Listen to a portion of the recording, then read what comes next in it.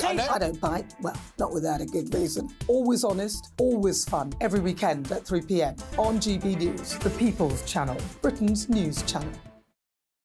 So Dewbs and Co, we tackle the issues of the day with real robust debate, both sides of the fence, battling it out with me in the middle with my forthright opinions and views. And often really interesting things happen because you start with a position and then by the end of the debate you find actually, well, I might not have thought about that one. What we need in this country is two new political parties. You should maybe think about doing a 2024 calendar. I'm Michelle Dewberry and I'm keeping you company right through until 7 o'clock this evening. GB News, the People's Channel, Britain's watching. Join us every night on GB News at 11pm for Headliners, which is three top comedians going through the next day's news stories, which is exactly what you need because when the establishment has gone crazy, you need some craziness to make sense of it. Headliners. You don't have to bother reading the newspaper, we've got it covered for you. Every night at 11pm and repeated every morning at 5am. We won't send you to sleep like some of the other paper review shows out there. So join us 11pm every night on GB News. The People's Channel, Britain's news channel. GB News, unlike other broadcasters, isn't obsessed with the London Westminster bubble. We think there's a nation beyond the M25, and that's why we talk about the issues that matter across the land. Join me on State of the Nation, 8 to 9 o'clock, Monday to Thursday, on GB News. Daisy's listening, and you should too.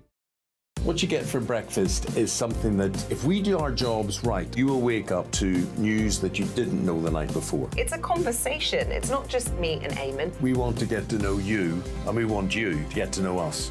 From 6, it's Breakfast with Eamonn and Isabel. Monday to Thursdays on GB News. Britain's news channel.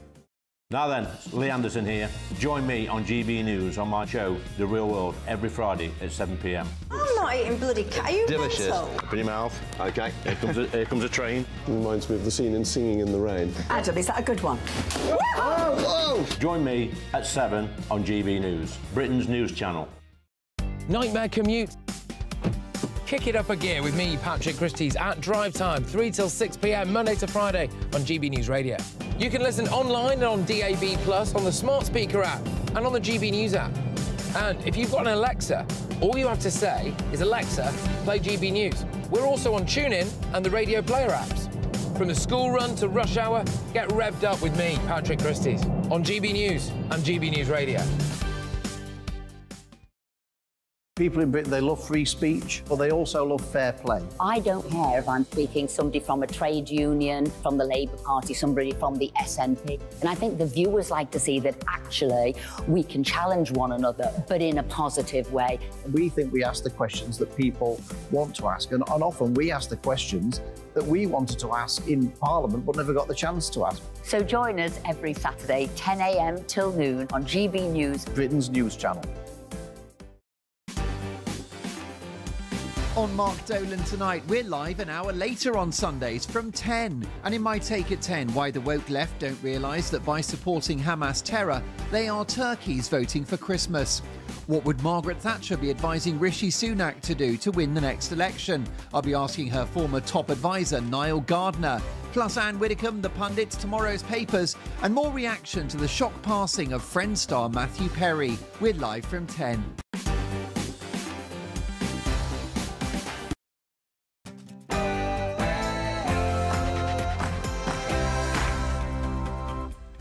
Let's get to work. It's 10 o'clock on TV, on radio, and online in the United Kingdom and across the world. This is Mark Dolan Tonight. In my take at 10, why the woke left don't realise that by supporting Hamas terror, they are the turkeys voting for Christmas. As our national broadcaster is mocked worldwide for its handling of the Israel crisis, has the BBC become a global laughingstock? And as next week's King's speech sees a bonfire of eco policies, could ditching net zero save Rishi Sunak's premiership? I'll be asking tonight's newsmaker, former government minister, politics legend Anne Widdecombe. Plus, what would Margaret Thatcher be advising Rishi Sunak to do to win the next election? I'll be asking her former top advisor, Nile Gardiner. And tomorrow's newspaper front pages and reaction in the studio from tonight's top pundits. So, a packed show, lots to get through. My take at 10 is on the way. I'll be dealing with the woke left, and I'm not pulling my punches. First, the headlines and Aaron Armstrong.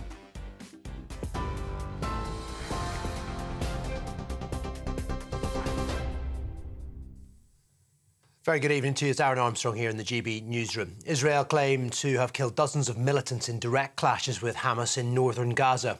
The Israeli military says the Hamas fighters were killed leaving a tunnel near the Erez crossing, which previously linked Gaza to Israel. The IDF says it's been massively bombarding Gaza from the air to ensure the safety of its forces on the ground and to eliminate, in its words, terrorist infrastructure. Its spokesperson, Daniel Hagari, once again urged residents to move south for their own safety. Over the last two weeks, we have been calling on residents of the northern Gaza Strip and Gaza City to relocate southward temporarily. Relocating southward is for their personal safety. We are today emphasising that this is an urgent call. Among the hostages are foreign workers, not a small number of them, for whom the process of identification and reaching families is complicated for us. It is taking us time to build up this picture.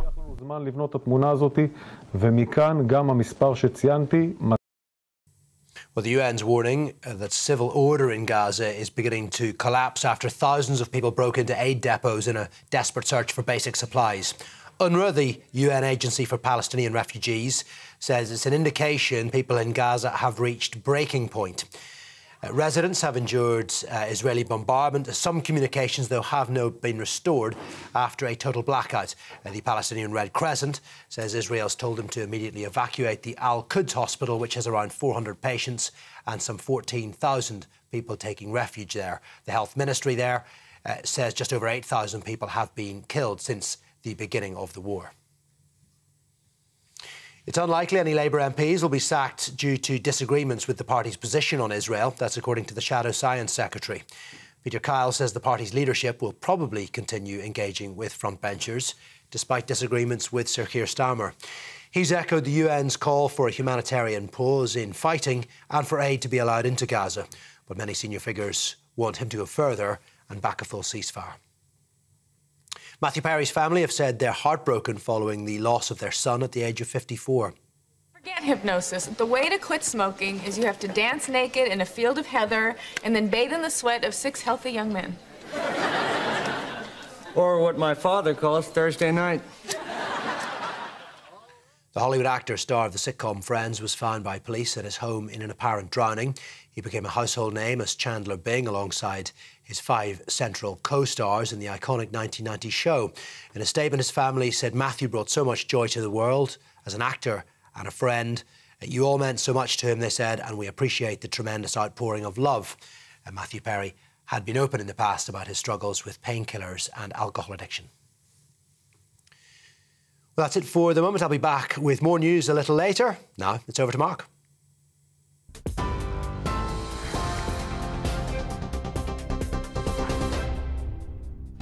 Rest in peace, Matthew Perry, a giant of television comedy. Welcome to Mark Dolan tonight, as our national broadcaster is mocked worldwide for handling the Israel crisis in such an egregious manner. Has the BBC become a global laughingstock? As next week's King's speech sees a bonfire of eco policies, could ditching net zero save Rishi Sunak's premiership? I'll be asking tonight's newsmaker, former government minister, politics legend Anne Widdecombe. Plus, tomorrow's newspaper front pages and reaction in the studio from tonight's top pundits. Ringside this evening, politics consultant Emma Burnell, journalist Linda Jubilee, and social worker and broadcaster Yosef David. What would Margaret Thatcher be advising Rishi Sunak to do to win the next election? I'll be asking her former top advisor, Nile Gardiner, live in the studio in a brand new Sunday segment called The Last Word. And today is National Cat Day. So send me pictures of your pussy. Mark at gbnews.com. Here is producer Maria's uh, lovely cats, her babies Nancy and Winston, watching GB News. They've got great taste. And here's my little kitty, Harry. So we'll be showing yours after every break tonight, so keep them coming. Your cat pictures, mark at gbnews.com. A packed hour, those papers are coming, but first, my take at 10.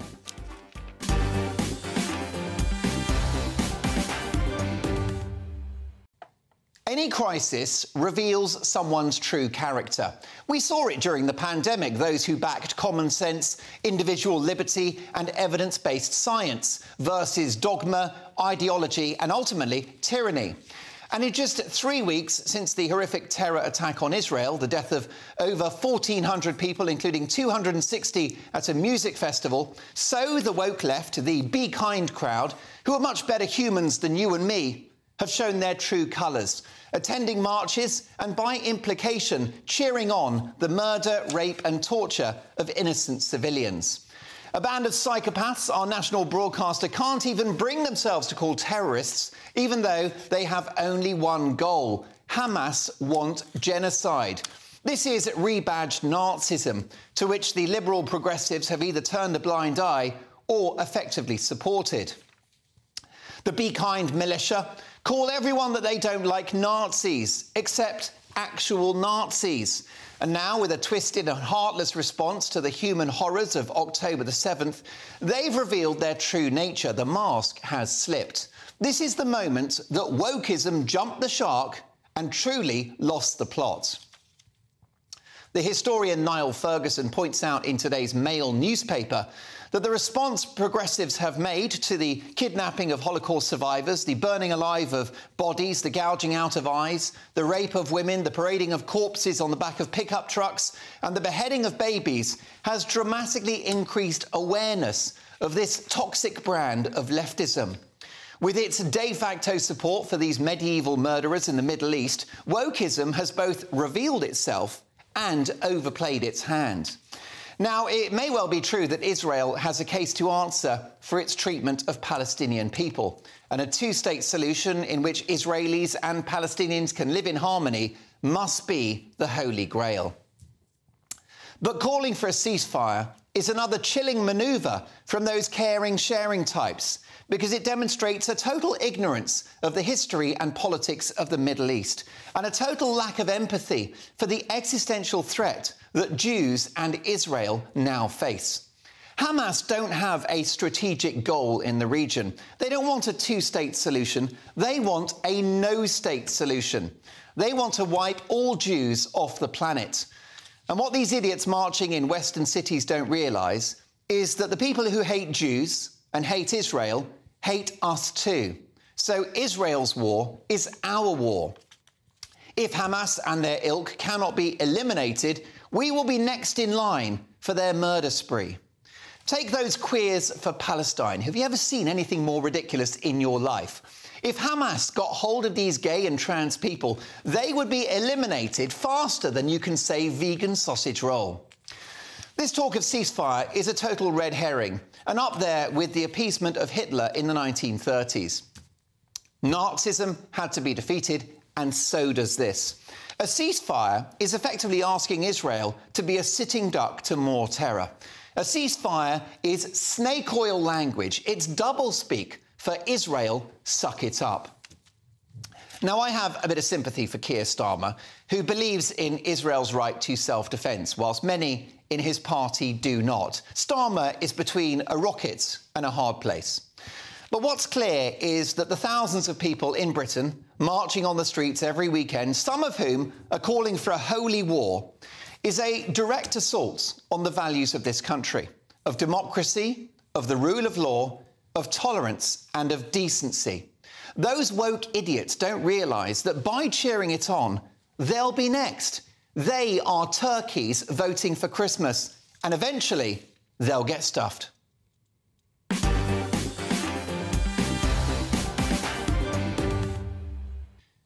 Now, let's get the views of my top pundits this evening. Political consultant and playwright Emma Burnell, journalist and broadcaster Linda Jubilee, and social worker and political commentator Yosef David. Yosef, can I start with you? Uh, your reaction to the woke left's response to the attacks on the 7th of October? Well, at risk of being accused of trying to ingratiate myself with the host, I have to say that I thought your monologue was fantastic and I agreed with everything you said. Um, the woke left have a lot to answer for with regard to the events in this country over the past two weeks. They position themselves and present themselves as people who advocate for minority groups, but they've been unable to stand with the Jewish community, even though they know that uh, fear, depression, trauma is widespread. And we have to say that these people who are presenting themselves as trying to advocate for minority communities have managed to ignore the Jewish community. And we can look at the self righteousness in which the people who have pulled down posters of kidnapped Israeli children have acted. They actually believe they are on the right side of history. It can definitely be said that woke ideology has led to an increase in anti Semitism. Far from treating Jews like the vulnerable minority they are, in actual fact, organizations like BLM have termed the, the Jews as a powerful group who gag the media. Emma Burnell, your reaction to what your colleagues on the left, some of your friends, uh, have done in response to what happened earlier this month?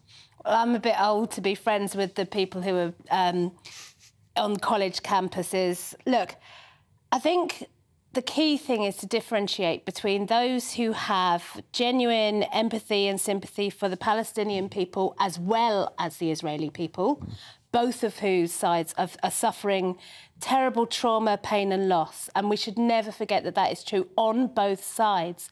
And those idiots who are just being what is essentially a useful idiot for a terrorist group, which is Hamas. Mm. Um, and I think that the majority of people who might be um, tempted to go on a demonstration calling for peace are probably in the first category, but that they're too easily kind of you know lumped in together with the with the useful idiots. So I think there are problems with calling for a ceasefire because, frankly, Hamas are not going to offer one. Mm. Um, ceasefires have to be an agreement by both sides. Um, but I do think that um, calling for humanitarian pause, calling for aid to be able to get into the innocent people, uh, innocent civilians of Palestine is essential. And it will be essential for the humanity of the Israeli people fighting the war, that they can feel that they have done so in a just way. Um, uh, ultimately, and I'm, i think we all agree on this, the end goal has to be peace. Mm. The end goal has mm. to be a two-state solution. How we get there from here, that's a long, hard road, but it has to start with seeing how we can maintain all of our humanity and our empathy for everyone who's suffering. Indeed. Uh, Linda, these people have been going on pro-Palestinian marches at which people have been calling for a complete jihad, a holy war, the destruction of Jews. And of course, there's been no condemnation from these same people about what happened on the 7th of October. I don't need to remind everyone watching and listening that babies have been beheaded, women raped, dead bodies paraded on the back of pickup trucks. Uh, the woke left have failed to condemn these actions. So is this the moment that wokeism jumped the shark and lost the plot? Um, I don't think it will be the moment, actually. I mean, it is a moment.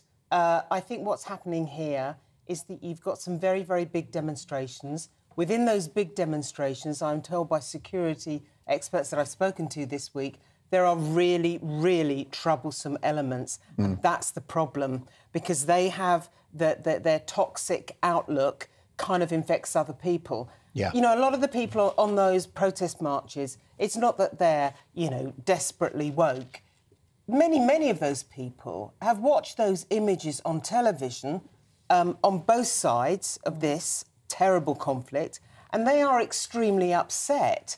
The problem is that they can be pushed and persuaded and used, and that's a very, very difficult thing. Now, Emma's quite right in, in thinking that maybe we should call for a humanitarian pause. But the trouble is, these are only words.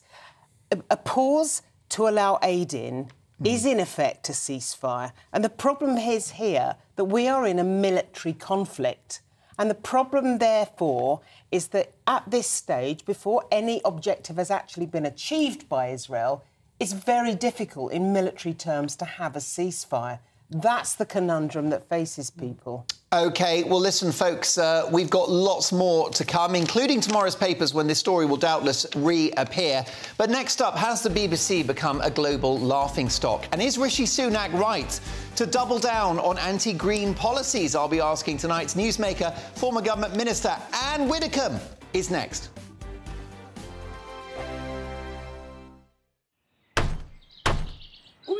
We're here for the show. More energy this time! Welcome to the Dinosaur Hour. I was uh, married to a therapist. And you survived? I thought we were getting Hugh Laurie. Second best. You interviewed Saddam Hussein. What's that like? I was terrified. I'm playing strip poker with you three. Oh! No, thank you. My CDs need to be put in alphabetical order. Are you going to be problematic again? The Dinosaur Hour. Sundays at 9 on GB News. What you get for breakfast is something that, if we do our jobs right, you will wake up to news that you didn't know the night before. It's a conversation. It's not just me and Eamonn. We want to get to know you, and we want you to get to know us. From 6, it's Breakfast with Eamonn and Isabel, Monday to Thursdays on GB News. Britain's news channel. People in Britain, they love free speech, but they also love fair play. I don't care if I'm speaking somebody from a trade union, from the Labour Party, somebody from the SNP. And I think the viewers like to see that actually we can challenge one another, but in a positive way. We think we ask the questions that people want to ask, and, and often we ask the questions that we wanted to ask in Parliament but never got the chance to ask. So join us every Saturday, 10 a.m. till noon on GB News. Britain's news channel. Nightmare commute. Kick it up a gear with me, Patrick Christys, at drive time, 3 till 6 p.m., Monday to Friday on GB News Radio. You can listen online and on DAB, Plus, on the smart speaker app, and on the GB News app. And if you've got an Alexa, all you have to say is, Alexa, play GB News. We're also on TuneIn and the Radio Player apps. From the school run to rush hour, get revved up with me, Patrick Christys, on GB News and GB News Radio. Tired of the usual focus tested, pre prepared Westminster runaround? Well, so am I. So you want higher taxes? Is your department to blame for this? Are you rethinking this policy? Every Sunday at 9:30 I'll be sitting down with those in power to get the truth about the issues affecting you. Let's be honest, we've known about the cost pressures of this project for years, not months. That's the Camilla Tominey Show, a politics show with personality. On GB News, the People's Channel, Britain's news channel. Join us every night on GB News at 11pm for Headliners, which is three top comedians going through the next day's news stories, which is exactly what you need because when the establishment has gone crazy, you need some craziness to make sense of it. Headliners. You don't have to bother reading the newspaper, we've got it covered for you. Every night at 11pm and repeated every morning at 5am. We won't send you to sleep like some of the other paper review shows out there. So join us 11pm every night on GB News. The People's Channel, Britain's news channel.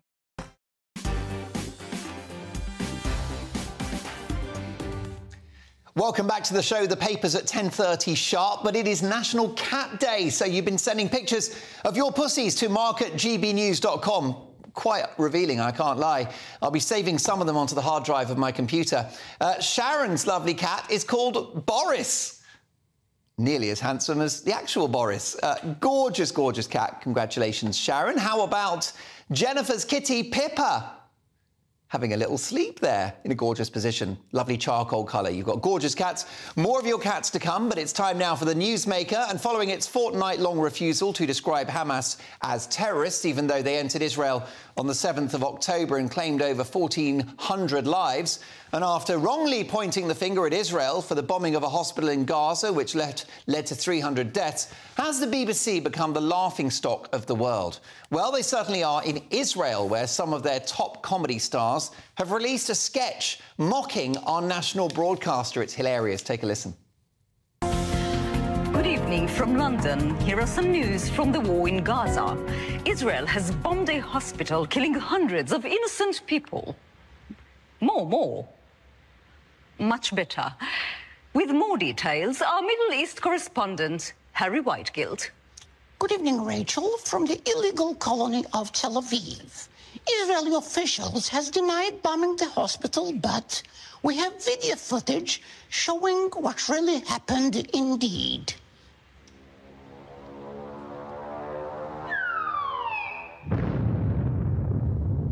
Absolutely shocking, Harry.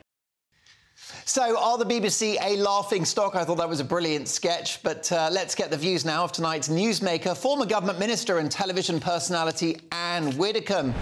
And the BBC have become the story, haven't they? And they're being laughed at. This is a problem. Uh, they are. I mean, nobody takes them seriously, or very few people take them seriously. Uh, and whereas they used to have a voice that, that was real authority, and if you wanted the facts, you listened to the BBC and you, you know, the days of the great broadcasters like Richard Dimbleby, Robin Day, you believe what was being said. Mm. Um, but the BBC is, over many years, there's nothing new about this and it's not been peculiar to, to any government. Uh, over the years, the BBC uh, has become gradually more and more left wing. If you look at its reporting during COVID, you know, there was the government line very clearly printed saying, you know, that not all these deaths were due to COVID. It was simply people who had tested positive within 28 days or whatever the period was. Uh, and the BBC used to say, in terms, these people had died of COVID. Now, that is straightforward misreporting, and it's the Beeb. Uh, and they do that all the time in numerous ways, but to have actually refused to call Hamas a terrorist organization, treating it as if it's a country, uh, and it really mustn't take sides against terrorism, that I think will have convinced a lot of people uh, that the BBC has just thoroughly lost its way. And well, it, you know, I mean, yeah. all the all the pressure is for a ceasefire. Israel cannot have a ceasefire. Israel is fighting a war which it's got to win. And you know, letting Hamas simply regroup and you know and regather um, by giving a ceasefire is a piece of lunacy. They've got to win this war. Now, Anne, as a former Home Office Minister, Prisons Minister, you've doubtless sat in on Cobra style meetings. The BBC wrongly pointed the finger at Israel for the bombing of a Gaza hospital. Tragically, 300 deaths. Now, the Beeb corrected their position days later, but the damage was done a propaganda coup for Hamas. Yes, they, they, they just went in where angels fear to tread and said, you know, this is the answer and this is what happened.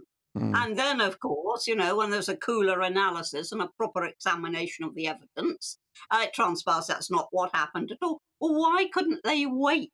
Is it just the pressure of having to be melodramatic and, you know, get melodramatic news out immediately? Or is it simply that they've lost altogether the perspective of proper, impartial, careful, analytical reporting, if they know the meaning of any of those words? Well, Anne, you said the word impartial. Is it an anti Israel bias at the Beeb? I think that is pretty evident. Well, the Beeb would deny it. Uh, but I think in the way that they have approached uh, the nomenclature of Hamas, uh, then not calling it terrorism, uh, the way that uh, they have reported Israeli activity as if it is a fact and then it's later shown not to be, all the emphasis hugely on the civilian casualties in Gaza. I mean, never mind what's going on in Israel. Uh, I, yeah, I, I, would say they haven't been impartial on this. I would say it's something that Ofcom actually ought to look at. Uh, the BBC broadcast hundreds of hours of radio and television a week. Uh, they have argued that when it comes to calling Hamas terrorists, they've stressed the importance of not taking sides and have argued that they have followed journalistic protocol. And regarding the hospital tragedy in Gaza, uh, they've identified their mistake. And of course, all journalists do make mistakes. Um, Anne, let's talk about the Prime Minister now, if we can. The Observer are reporting that Rishi Sunak will use next week's King's speech to advance the expansion of North Sea oil and gas exploration as well as pro car policies in the hope of opening up a clear divide over the green agenda with Labour. Is it the right thing to do and will it work? Oh, I mean, I assume that the Conservative Party has actually been watching and listening to Reform UK and has seen the popularity of some of its measures. Uh, and it began with ULEZ, of course, uh, and now they're looking beyond that. I mean, people will put up with anything as long as it's government spending because they think that's somehow nothing to do with them. Mm. When they have to spend money on boilers and on new cars and all the rest of it, uh, when they have to do that and it actually hits home, then they're much less keen on all this theory. And theory is what it is. There is no uh, absolutely no evidence whatever that if we don't do something by 2035, it will be too late. There is no evidence of that. Uh, so, could this policy, this slight reversal on net zero, deliver dividends for Rishi Sunak in a year's time? Could it move the dial for him politically? I think it could. I think people will find it a bit cynical because he's always sung the merits of net zero. Uh, I think they'll find it a bit cynical, but given that Keir Starmer is sticking with uh, the net zero targets and is sticking with all the policies which will impact so heavily on ordinary citizens and particularly on citizens who aren't that well off, uh, I think, yes, it could open up uh, some ground. Perhaps he'd now like to listen to Reform UK on a few other things as well and open up a bit more ground. More importantly, listen to Anne Widdecombe, Pearls of Wisdom, every Sunday night at 10.15. Anne, we'll catch you in a week's time. Thank you so much for joining us. Coming up, tomorrow's newspaper front pages and live reaction in the studio from my top pundits and a brand new segment, The Last Word, tonight with former Margaret Thatcher advisor Nile Gardiner live in the studio. What would Thatcher be advising Rishi Sunak? That's next.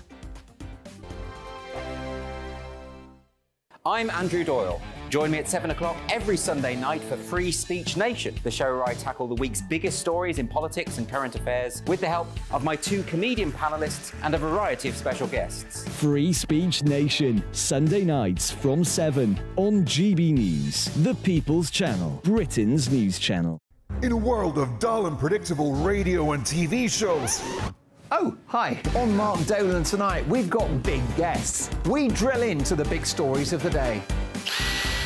The show adds up to a brilliant listening and viewing experience. Mark Dolan Tonight is the most entertaining current affairs show ever, and that's a fact. Join me, Mark Dolan, Fridays and Saturdays from 9, Sundays from 10.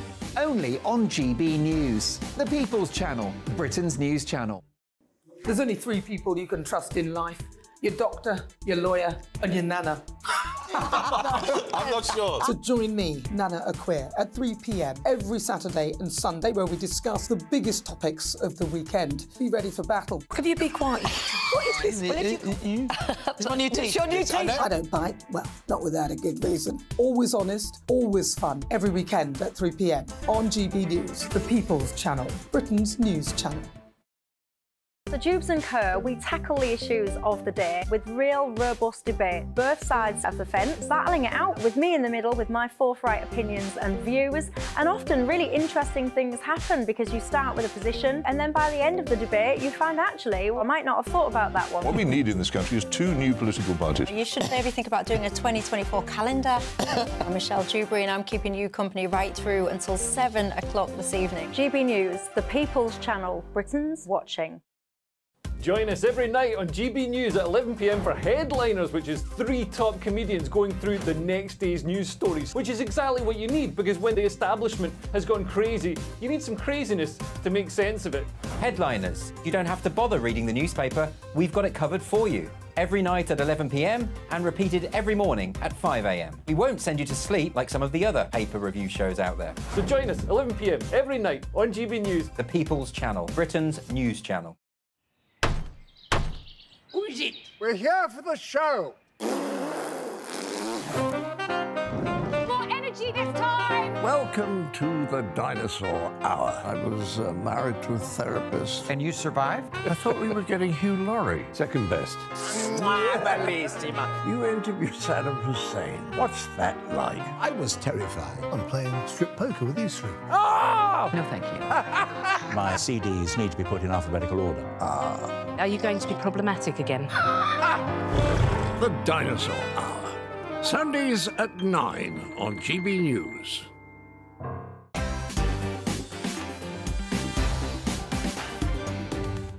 Welcome back to the show. It is National Cat Day, so you've been sending pictures of your kitties.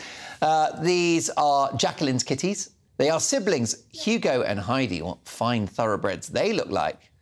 And Mel's 18-year-old rescue, Nanu. Another fabulous one. And how about Sheena's lovely girl, Poppy, who's watching Mark Dolan tonight. And her fur a lot more orderly than mine. Thank you for those brilliant pictures. We've got more at 10.45. Uh, we've been conducting an exclusive Mark Dolan Tonight People's Poll. I've been asking, has the BBC become a global laughing stock? The results are in. And I'm afraid to say that more than 75% say yes and fewer than 24% say no. OK, folks, well, lots to get through. Nile Gardiner, Margaret Thatcher's former advisor, live in the studio in just a few minutes' time. What would the Iron Lady be advising our current Prime Minister? But first, this.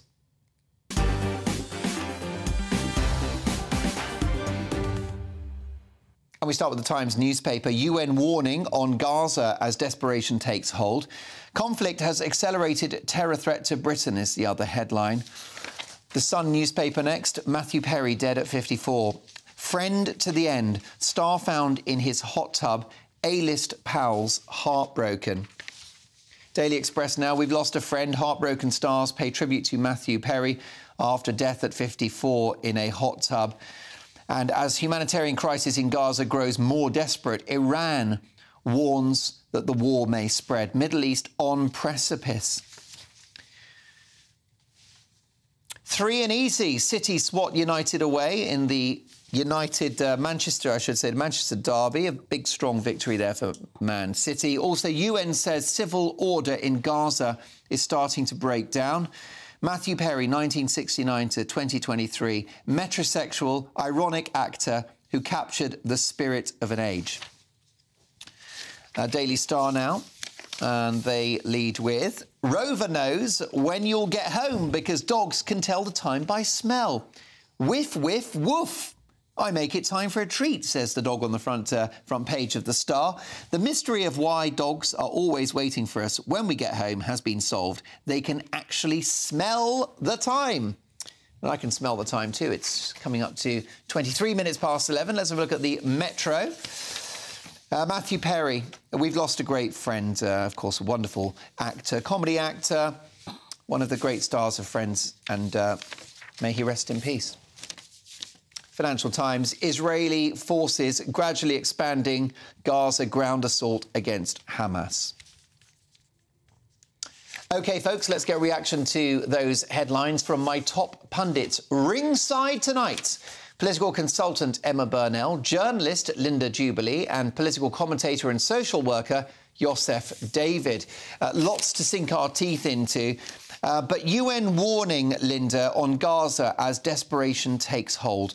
Uh, things are getting worse. Uh, I've heard figures of 7,000 uh, Palestinians yeah, uh, who've lost their lives. Yeah. Is it approaching eight now? Uh, the death toll grows, um, and, and, a crisis that could, could spread beyond the Middle East. Absolutely. I mean, we're thinking mainly about Iran here, but just to go back to what's happening with with some some food that gets in. Of course, people are so desperate now that they've started raiding the depots. I mean, at that point, you're really looking at civil disorder. You're mm. looking at the breakdown of all society, and I think we're right on the edge of that happening. I think we'll see even more tomorrow. Well, indeed. Now, this uh, act of self-defence by Israel, Yosef, is creating a humanitarian crisis and it's causing civilian casualties, civilian deaths. Of course, that is Hamas's strategy, is it not? This is exactly what Hamas wants. And I would say that if uh, civil law is breaking down, it's probably the case that Hamas have gone underground. Mm. Uh, there isn't anyone there to maintain the law. Um, mm. And these poor civilians who haven't got anything to eat um, are suffering from a totalitarian regime who have taken all the supplies underground. And weaponized civilians. Absolutely. But they told, after October the 7th, Israel did a leaflet drop mm. in North Gaza saying, head south because we're coming but Hamas said ignore that instruction. They blocked the I think roads. tells you everything that you need to know. They blocked the roads. They, they prevented right. people from leaving. Um, they need people to be in the way. Of, of, of, Israeli munitions, of the Israeli army, because they need um, a, a, a, high death toll so that they can rage, wage mm. war mm. um, via the media. But that doesn't change the fact, does it, uh, Emma, that civilians are dying, that people are going through hell. Uh, pressure will grow on Israel to have a ceasefire pressure will grow on Israel at the very least to ensure that some form of supplies are getting through. Um, I think a ceasefire is unlikely, um, not least because, as I said earlier, a ceasefire takes two sides and Hamas is just not going to offer one. Mm. Um, however much we're uh, calling for a ceasefire. Rockets are coming from Gaza mm. towards Israel every day, as well as the other direction. Um, there's a wonderful piece by Jonathan Freedland in The Guardian, and he says that the problem with this, and certainly the way that we sometimes talk about it in the West, this is not a football match. It's not Yeah. about two sides. Um, you don't pick your colours. This is two just causes clashing. And we, again, I just come back to making sure, for the sake of the Palestinian people and for the sake of the Israeli people, that we maintain our humanitarian, that we t- maintain our humanity and empathy. Now, Yosef, I think you're not so sure about what Emma said there. I, I, I believe that the Palestinian cause is a just cause. It's, it's undoubtedly a, a real cause, and people who are advocating for it um, are, are right to do so. Um, however, Hamas has committed unspeakable Oh, atrocities. absolutely. They- I no way want to be seen to be defending. Hamas at all. I no, no, I. I, I, I, don't think that you are, but they've crossed the line, and and even before Israel retaliated, there were people on the streets. Um, there, there was anti-Semitic graffiti. There were shops that were defaced, um, and I think there's an idea that given what has happened, given the barbarity and, and the savagery, which, uh, you know, if, if I was to go into some of the details of what happened, Oh, they'd, prob- they'd heard some probably cut. Oh, it's horrendous. They'd probably cut the feed. So. Um, there are times in history, for example, with, with the Nazis, with the genocide in Rwanda, that things are so bad, things are, are so unspeakable that we draw a line in the sand and we say what happened here must never happen again. And we're not seeing that from um, from the international community. Having said that, with regard to, to aid, I, I think the Palestinians should get aid, but we have the privilege of sitting here in a comfy studio, Yeah, it's very um, and we, we don't have rockets coming in.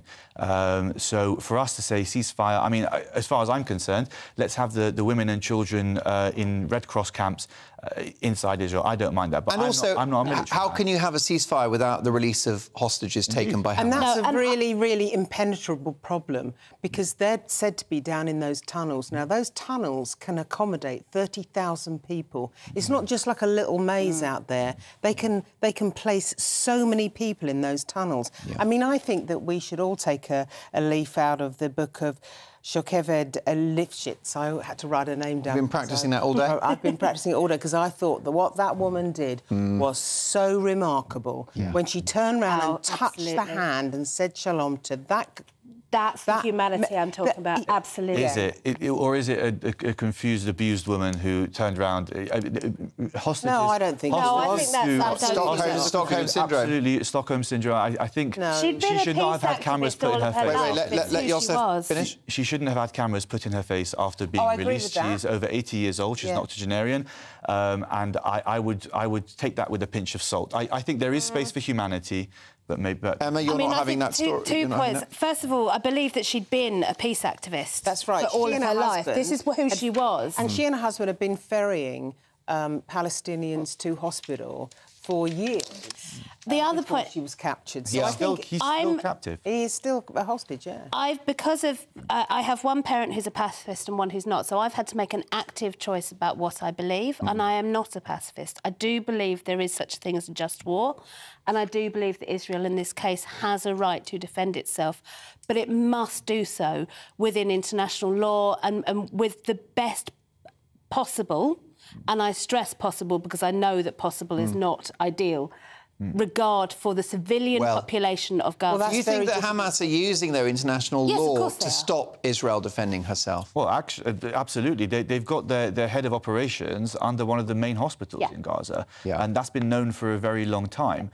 Um, this is what Hamas does, but it, it also needs to be noted that Israel has the unenviable task of conducting war in one of the most densely populated areas in the world, Exactly. Yeah. and Yeah. and the, the the civilian casualties, uh, it's it's terrible, and it, it's almost It's inevitable. unavoidable. unavoidable. Yeah, absolutely. Which is Yosef- why I stress the possible rather than the ideal. Indeed. Uh, Yosef, can I ask you, uh, do you feel, though, uh, and I know that you're a very proud Jewish man, uh, but do you feel that Israel have a case to answer for their treatment of Palestinians over the years? Uh, I have a Jewish friend who's a comedian and a lawyer who describes Gaza as, as the biggest concentration camp in the world. Uh, she's, you know, many people have, have laid uh, at the uh, at the door of Israel the accusation that it's an, that Gaza is an apartheid state, uh, and of course the idea that it's an open air prison. How would you address those allegations, those those uh, concerns about Israel's actions over the years? Okay, well, Gaza cannot be apartheid because there aren't there aren't any Jews in there to be separated. Mm. Um, the, with regard to, to the conditions in Gaza, I, I, think that Hamas do have something to answer for that. Um, what I will say is that Israel is engaged in an existential war, um, and I will not criticise them in that period. Um, but there has been a policy of no policy with regard to settlements in the West Bank. I'm a passionate believer in a two state solution. I'm a believer in autonomy for all nations. That's why I voted for Brexit. And peace. Mm, absolutely. But I did speak to a senior military person this week, and he described the situation in Gaza as a, for years, for decades maybe, as a pressure cooker. Mm. Now, that's not to a to take sides or to say that there was apartheid or to say anything else, mm. other than right on your doorstep, you have a pressure cooker waiting to explode. The Israeli policy was to contain Hamas in Gaza. And uh, if that's not, you know, recipe for a pressure cooker, I don't know what is. Every so often, they would break out, they would shoot rockets, and, and the, the response would be to, to go in. Um, and that is short term at best. What I'm hoping for now is that through all this unspeakable carnage, there will be new leadership in Gaza who want peace.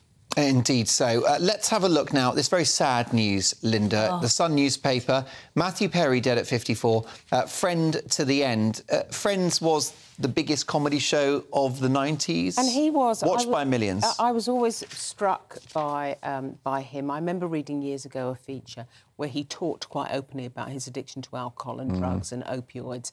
And he said the, the, the reason why he'd at the time managed to kick it, of course he didn't succeed to do that permanently, was he couldn't get over the feeling of waking up sober and how fantastic it was and how much energy he had and he was going to really try hard to make it all work mm. and of course in the end he didn't is he's, he himself estimates he spent 9 million pounds on mm. rehabilitation trying to kick these habits and it's incredibly sad because i remember i was talking to the others before we came on air, um, covering George Best. Um, I did a story, a big story for Tonight with Trevor McDonald. He died at the same age 54, 55. Mm. George Best mother, same age, 54, 55. I think when you are addicted to so many toxic substances, particularly alcohol, it just destroys your body. And it happens to the most creative people. Indeed so. And he'll be a great loss. I mean, a huge talent gone too soon.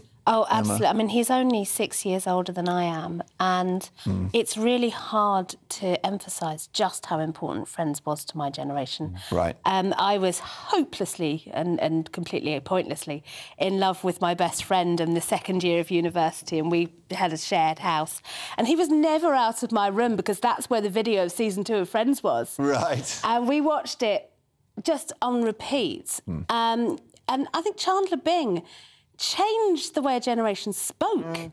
You know, could I be any more uh, emphatic about that point? no, definitely right. He was really wonderful. A great, great loss. Uh, more from the papers next, plus a brand new segment on the show for Sunday nights. The Last Word tonight with Margaret Thatcher's former top advisor, Nile Gardiner, live in the studio. Looking forward to this. He's next.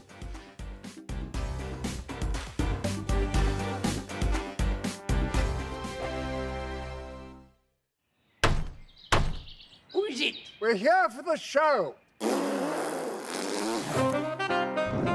energy this time! Welcome to the dinosaur hour. I was uh, married to a therapist. And you survived? I thought we were getting Hugh Laurie. Second best. you interviewed Saddam Hussein. What's that like? I was terrified. I'm playing strip poker with you three. Oh! No, thank you. My CDs need to be put in alphabetical order. Ah. Are you going to be problematic again? the Dinosaur Hour. Sundays at 9 on GB News. Tired of the usual focus tested, pre prepared Westminster runaround? Well, so am I. So you want higher taxes? Is your department to blame for this? Are you rethinking this policy? Every Sunday at 9.30, I'll be sitting down with those in power to get the truth about the issues affecting you. Let's be honest, we've known about the cost pressures of this project for years, not months. That's the Camilla Tominey Show, a politics show with personality. On GB News, the People's Channel, Britain's news channel. Join me, Patrick Christys Monday to Friday, 3 till 6. We tackle the day's news agenda like you've never seen before. It's high tempo, high octane, the most controversial topics, and the best guests. You will not be able to take your eyes and ears off it. I'm not afraid to ask the questions that you really want answered. 3 till 6 pm, Monday to Friday on GB News, the People's Channel, Britain's news channel. Now then, Lee Anderson here. Join me on GB News on my show, The Real World, every Friday at 7 pm. I'm not eating bloody cat. Are you Delicious. mental? Put your mouth. Okay. Here comes a, here comes a train. Reminds me of the scene in Singing in the Rain. Adam, is that a good one? Join me at 7 on GB News, Britain's news channel. I'm Andrew Doyle.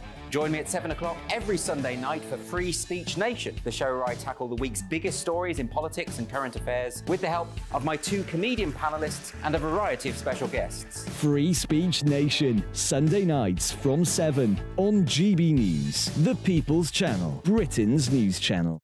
GB News, unlike other broadcasters, isn't obsessed with the London Westminster bubble. We think there's a nation beyond the M25, and that's why we talk about the issues that matter across the land. Join me on State of the Nation, 8 to 9 o'clock, Monday to Thursday, on GB News. Daisy's listening, and you should too. In a world of dull and predictable radio and TV shows, Oh, hi. On Mark Dolan tonight, we've got big guests. We drill into the big stories of the day. The show adds up to a brilliant listening and viewing experience. Mark Dolan Tonight is the most entertaining current affairs show ever, and that's a fact. Join me, Mark Dolan, Fridays and Saturdays from 9, Sundays from 10. Only on GB News, the People's Channel, Britain's news channel.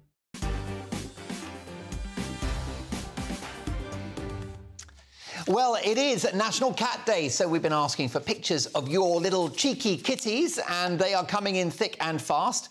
This is Michael's gorgeous felines, Esty and Zila, or Zyla. Aren't they gorgeous? Look at that. Uh, we've got Luke's cat, Bubba. Really cute, looks like a kitten. Marcus's cats, Bowie, Marley, and Bradley, short for Bradley Wiggins. Look at that, forming an orderly queue. Very British cats. Uh, we've got Marie's cat, Cagney and Lacey, crime-fighting duo. David's kitty, Moosey. Oh, look at that little little face. Look at those eyes. And Keith's, Keith's little girl, Lola. Isn't she a sparkler? Wow, that's a really that's that's a proper. I don't know. Is there an equivalent of Crufts for cats? I think she'd win. And Alison's lovely boy Floyd in the Amazon box. What a delivery! Uh, great stuff. Look, I loved all your pictures. We've got a surplus of them, but thank you for sending them. Listen, tomorrow's newspaper front pages coming in thick and fast. Let's have a look at the Telegraph now. Hamas blocks exit of foreign citizens. And the day the world lost a friend, Matthew Perry dies at the age of 54. Also, Johnson, Boris Johnson favoured a soft touch over lockdowns, says top scientists, if only he'd had his way. Now, for a brand new segment on Mark Dolan tonight on a Sunday, The Last Word, in which a special guest joins me in the studio to give their final verdict on the weekend that we've had. So, next week sees the King's speech, the final legislative programme before the next election. It's expected to include laws to bring in tougher sentencing for serious crimes, including rape, and a new annual system for awarding oil and gas licences in a move which reverses some of the government's zero policies on the environment, net zero. And whilst Rishi Sunak has pushed back on extreme political correctness, saying a man is a man and a woman is a woman, is there really enough clear blue water between the Tories and Labour to make a difference in a year's time? If she was still around, what would Margaret Thatcher be advising Rishi Sunak to do? Who better to ask than her former aide and advisor, foreign policy analyst and contributor to the Telegraph newspaper, Nile Gardiner. Nile, great to have you in the studio. It's great to be here. Thanks, Mark. Uh, the very first, the inaugural The Last Word on a Sunday night. Now, Keir Starmer has Tony Blair and Peter Mandelson advising him. I think you can see that in some of his policy positions. I feel he's shifted to the centre somewhat. Rishi Sunak sadly doesn't have Mrs Thatcher, but if he did, what would she be telling him? Well, that's a great question. I think the first thing that uh, she would say to Rishi Sunak is that you need to advance conservative policies in order for conservatives to vote for the Conservative Party. It's as simple mm. as that. And uh, she used to say that, of course, if, uh, if conservatives advance socialist policies, uh, they're not going to remain in power for much longer. So that was always her, her message, that Conservatives have to apply Conservative principles. Uh, I think she would be calling for uh, tax cuts, for economic freedom, for a reduction in government spending, uh, a reduction of the size of the state. Uh, there's too much government money flowing around, too much uh, public money. After all, this is taxpayers' money. This is the money of the British people. And so the Conservative government, I think, has to really cut taxes and send money back to the British people. I think that's the first thing. I think, secondly, the issue of immigration. Uh, a Conservative government has to be able to control illegal migration into the country. Mm. It has to be able to make this a very top priority, has to deal with it. Also, you've got to cut the level of legal migration. I think about 600,000 legal migrants came into the UK last year. That's a, a, a city the size of Manchester, basically, huge numbers. Uh, and the Conservatives have to reduce uh, the inflow of uh, migrants, legal and illegal, uh, coming into uh, the United Kingdom. Uh, I think also, as well, uh, Margaret Thatcher would have been appalled by the, ro- by the rise of wokeism mm. uh, in the United Kingdom, and her message to the Prime Minister would have been to be to defeat uh, the woke left, to get all the transgender nonsense out of British schools, hospitals, prisons, etc. Uh, and she would also uh, be calling on the Prime Minister to really stand up for British values, for traditional values, uh, and to to really defeat the poisonous, nefarious, woke cultural agenda, highly, highly destructive. Uh, and I would add on, on to those recommendations as well get rid of this awful net zero stuff. Net zero will bankrupt the British economy. It is hugely destructive. It will cost trillions of pounds. Britain can't afford it. Get rid of net zero. is not a conservative policy. Fascinating. Well, do stay with us, Nile. Let's bring in my top pundits alongside you. Delighted to have uh, Linda, Emma, and Yosef with us. Uh, listen, folks, uh, keen to hear what you've got to think. Yosef, is this country still missing Margaret Thatcher? Well, the lady was not for turning, but she would have turned the Conservative Party back to socially conservative values, um, and she would have as, as the guest has said, uh, reduced the size of the state and uh, lowered taxes. I, I, don't think that we need to resurrect the dead to save the Conservative Party. If we can become um, a radical conservative outlet, uh, entity before the next election, I think there's still hope. Um, I would caveat that by saying that I am a signed up member of the Conservative Party and I've also put myself on the list to be selected. Um, and I would say that Rishi Sunak's doing a pretty good job considering the circumstances. Uh, we're hearing rumours of an October poll to give the economy a chance to bounce back. Do you think it's already done and dusted, Linda? Uh, no, I think uh, there's still stuff left to play for. I do think the election will probably be um, in the autumn of next year. Mm. But I think that Rishi Sunak, um, I think he's a capable, intelligent guy. And I think the mistake we sometimes make is in thinking we have to have some kind of great orator, someone with great charisma someone who's always out there in front of the cameras. What we actually need right now is a sensible person running the country who understands what to do in terms of the economy. Uh, listen, Emma, I think it's quite clear from Keir Starmer's stance on a number of issues, including wanting to stop self ID for trans individuals, that Labour have shifted to the right. And I think it's the hand of Tony Blair and Peter Mandelson uh, bringing Keir Starmer into the centre ground. Look, I mean, on some issues, Keir Starmer has gone to where the country is, and um, as a radical feminist advocate for sex-based rights, I'm very happy that the Labour Party has shifted position on that particular issue. Um, I think in terms of um, you know where Keir Starmer is, I don't think he's influenced much by Margaret Thatcher, which I, as a yeah. Labour Party member, I would say is a good thing. Um, but I do think that there is I mean, if we're still talking about a person who left office when I was 15 as the last great conservative. Yeah. I think we're talking about a party who's really run out of ideas. OK, well, listen, uh, Nile, last word to you. Uh, your reaction to what we've seen on the streets in London this weekend, anti Semitic hate, what does it mean for the future of this country? Well, in, in my view, uh, with regard to what we're seeing on the streets is absolutely appalling. Uh, we are seeing uh, outright anti Semitism, hatred, violence a menacing atmosphere on the streets of London. A lot of these pro-Palestine uh, supporters uh, are actually uh, supporting Hamas. Well, there you go. He said it. It was the last word. I'm back tomorrow at nine. Thanks for your company.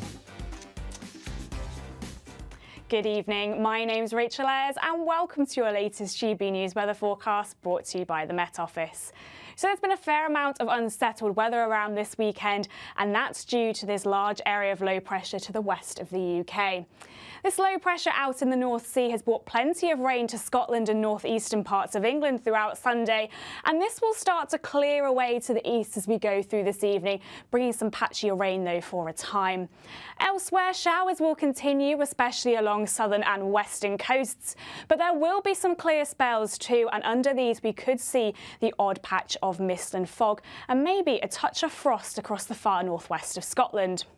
Showers will continue through Monday morning, though, especially across Wales and southeast England, where they could be heavy and maybe even with the odd rumble of thunder for a time.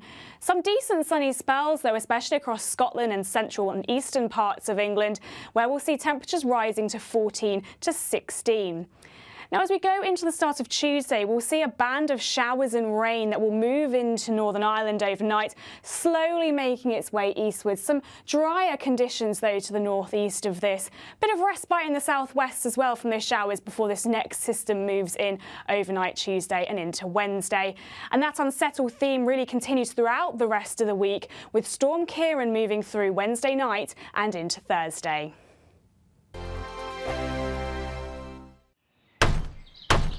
Who is it? We're here for the show. More energy this time! Welcome to the dinosaur hour. I was uh, married to a therapist. And you survived? I thought we were getting Hugh Laurie. Second best. You interviewed Saddam Hussein. What's that like? I was terrified. I'm playing strip poker with these three. Oh! No, thank you. My CDs need to be put in alphabetical order. Ah. Are you going to be problematic again? The Dinosaur Hour. Sundays at 9 on GB News. What you get for breakfast is something that, if we do our jobs right, you will wake up to news that you didn't know the night before. It's a conversation. It's not just me and Eamonn. We want to get to know you, and we want you to get to know us. From 6 is Breakfast with Eamonn and Isabel. Monday to Thursdays on GB News. Britain's news channel. People in Britain, they love free speech, but they also love fair play. I don't care if I'm speaking somebody from a trade union, from the Labour Party.